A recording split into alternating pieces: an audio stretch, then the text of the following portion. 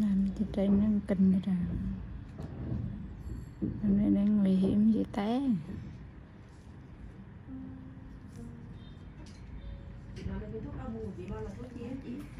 Sao mấy ta? Em đau bụng à? À, đau bụng thì chị lấy gì lấy à? ra tủ à? câu chuyện không đau bụng đi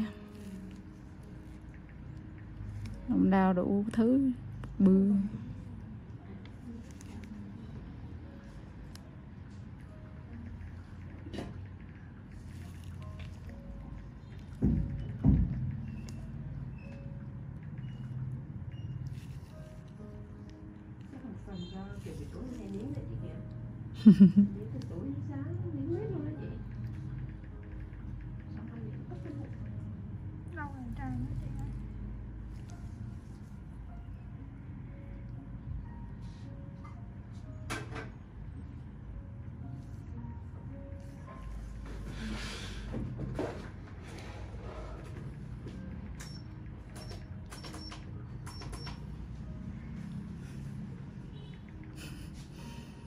ăn cục này không ra ra cục kia.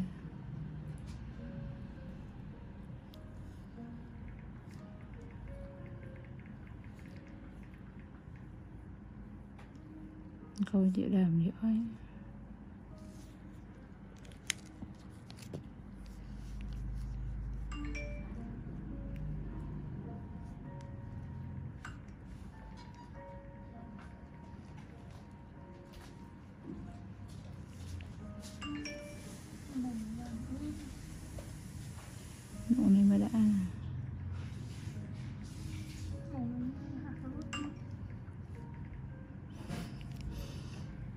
ít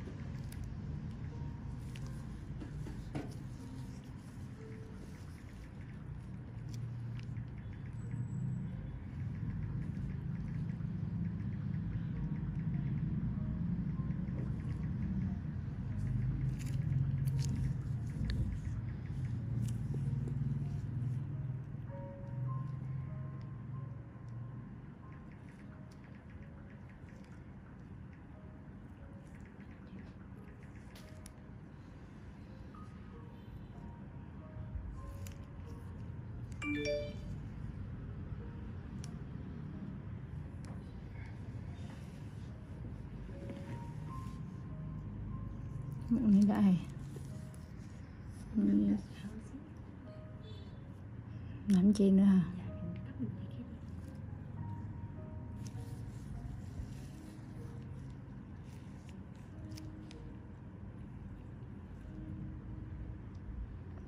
Cô này nuôi muộn quá lâu. Không chịu đi lấy á chị đào giỏi á. Chị nặng tiếng hơn.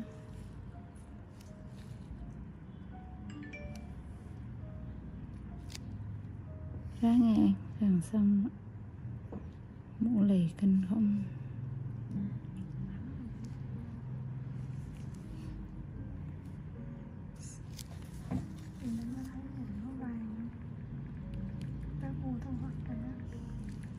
lúa chín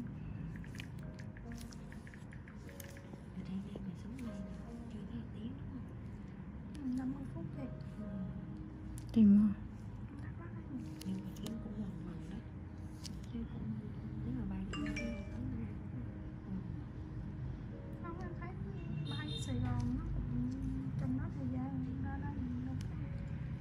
À đây là có máy bay à? Trên à, đây nó cũng lớn vậy.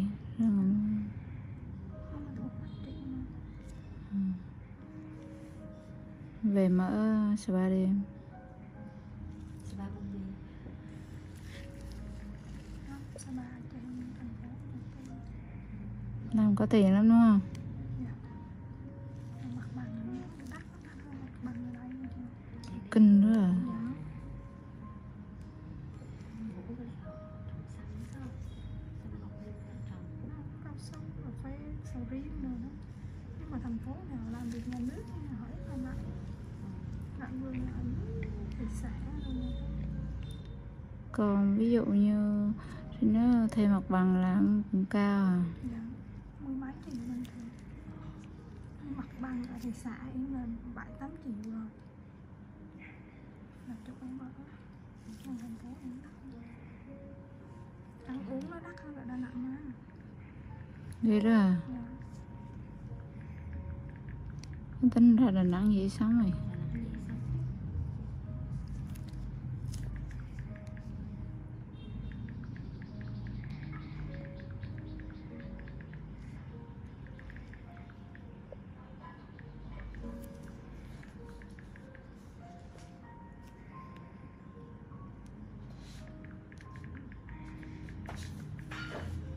nhà trọ ở đà nẵng nó cái cũng rẻ không thuộc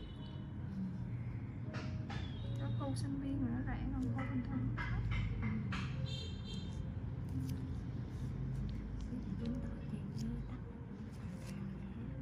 cao lắm, trên nó đắt, bữa nay trên nó hình như là ừ, trên nó hình như xấu á. Trên nó, bữa nay họ họ do dân họ lấy mua nhiều vậy do cái chỗ khác lấy mua nhiều cái thành ra. Triển như kiểu Đà Lạt thì nó sông suối rồi các kiểu là đất ở sông suối là họ mua hết. À, để mở là măng đen đó hả? Không không À, măng đen là cơm tâm rồi. Măng đen thì cũng đâu có gì đi đâu.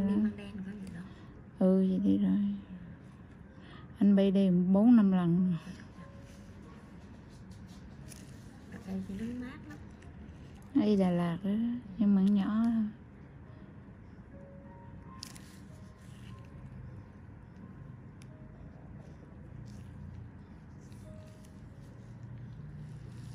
cái nữa ta.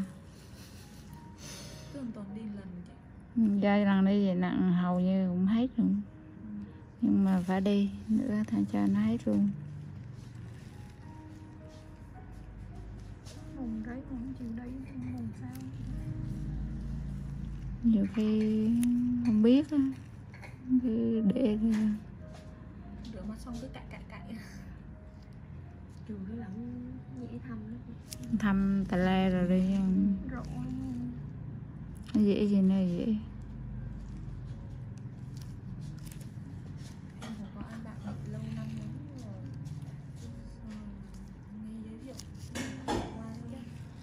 Ừ. ngày nay toàn là mấy người ở bệnh viện qua không đi trời. Làm toàn ở bệnh viện em bệnh viện nào? Phổi ừ, phổi viện nó thì chỉ ít ít ít ít ít người làm.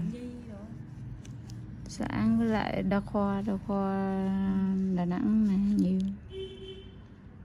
Nói chung bệnh viện mua cũng bên chị nhiều qua làm nhiều. Bệnh viện à, hồng mỹ nè bệnh viện gia đình luôn có hết.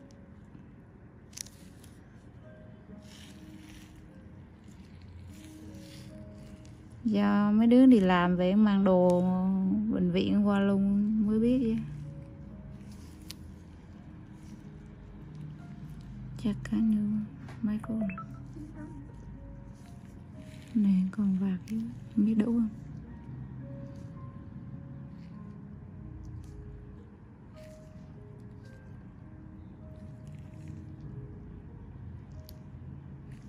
Đâu chị đau giỏi ghê nãy giờ nặng. Lâu lắm rồi.